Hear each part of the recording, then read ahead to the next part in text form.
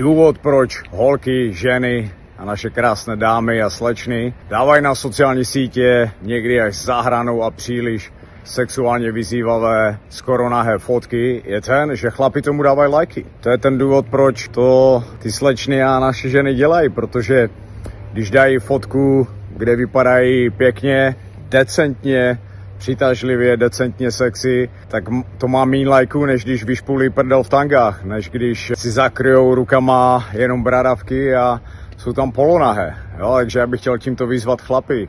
Chlapi, nelajkujte tyto fotky. A vy víte, o kterých mluvím. Já nemluvím o já nevím, fotkách z pláže, plavka a tak dále. Bavíme se o těch fakt zahranou, vyzývavě, sexy fotkám, které připomínají už více OnlyFans. A prostě, když tomu nebudete dávat lajky, oni nebudou mít uh, takový důvod to dělat. Takže chlapi se potřebují věnovat produkci a dejme najevo, dejme najevo ženám, že dokážeme ocenit něco víc než jenom vyšpulenou prdel v tangách, protože to, že tyto fotky mají nejvíce lajků, je ten důvod, proč to dělají, protože prostě jim to funguje, získává to pozornost.